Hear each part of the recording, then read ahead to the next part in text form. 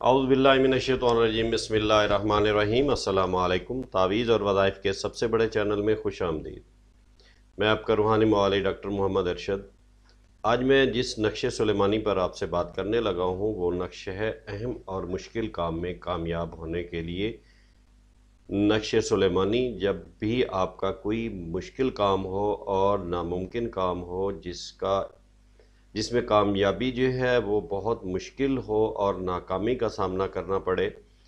और डर हो नाकामी का तो इस तावीज़ को, इस नक्श को, जो सुरह फजर का लिखा हुआ नक्श सुलेमानी है, इस नक्श को लिखकर जब आप अपने बाजू पर बांधेंगे और उस काम की तरफ़ मशगूल होंगे और उधर की तरफ़ कदम बढ़ाएँगे तो इन अल्लाह के हुक्म से आपका जो काम है, चाहे जितना मर्ज़ी अहम और मुश्किल है वो इन अल्लाह की मदद से आसान तर आसान हो जाएगा। तो इस तावीज़ को लिखने के लिए, आपने इजाज़त के लिए हमारा चैनल सब्सक्राइब कर देना है, लाइक कर देना है। मज़ीद इजाज़त के लिए इंतज़ार की ज़रूरत नहीं है, लेकिन यकीन जो है शर्त है। ये जो आज का नक्श है, ये नक्श जो है आछी चाल से लिखा गया है।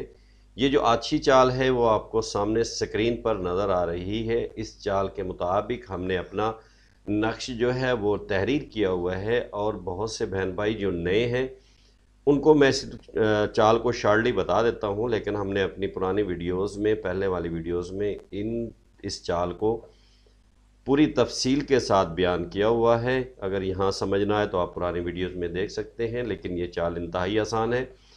ये चार कालम, चार रो के हिसाब से सोलह खानों पर मुश्तमिल होती है, जैसा कि आपको सामने दिखाए गए हैं। सोलह खानों को हमने मुख्तलिफ़ नंबर से ज़ाहिर किया हुआ है, यानी कि एक, दो से ले कर सोलह तक। अब जब आप यहाँ देखेंगे कि अब आपका सबसे पहला जो नंबर है, वो एक है, जो आपके सामने कॉर्नर वाला ये हिस्सा है। उसके बाद दो यहाँ आना चाहिए था या यहाँ आना चाहिए था, इसकी बजाय आधी चाल में दो यहाँ पर आएगा। इसके बाद तीन यहाँ पे है, चार, ये पाँच, छः, ये सात और ये आठ। आपने क्या करना है कि इस स्केच की तस्वीर बना लेनी है या किसी पेज पर आपने नोट कर लेना है, ये सिर्फ़ आपकी आछी चाल है।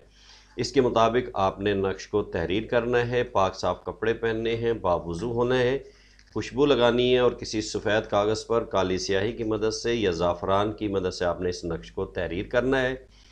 जब आप इस नक्श को तहरीर करने लगें तो ये जो सामने आपके आदात दिए गए हैं, इन आदात को आपने उस चाल के मुताबिक जिस जैसे हमने खानों को नंबर से ज़ाहिर किया गया है, उसी तरह आपने यहाँ से देखें, ये पहला नंबर है। तो आपने ये आदत जो है उस पहले खाने में आपने लिख लेने हैं, जो आपने सोलह खानों का अलहदा जो है सफ़े पर ब्लॉक बनाए हुए हैं, खाने बनाए हुए हैं।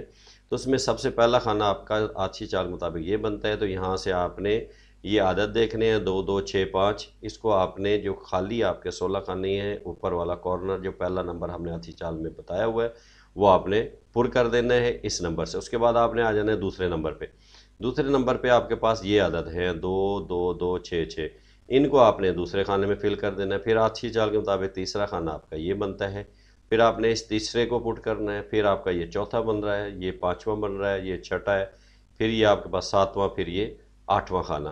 तो उसी तरतीब के लिहाज से जैसे अच्छी चाल में बताई गई है, उस चाल के मुताबिक आपने इसको तहरीर कर लेना है। जब नक्श तहरीर हो चुके हैं तो इसको आपने बाजू पर बाँध लेना है और अपने काम की तरफ़ मशगूल होना है और कोशिश कीजिएगा ऐसा इंसान या ऐसे शख्स से ये नक्श तहरीर करवाएँ जो कि पाँच वक्त का नमाजी हो और परहेज़गार इंसान हो। बुज़ुर्ग से लिखाना बहुत ही अफजल है।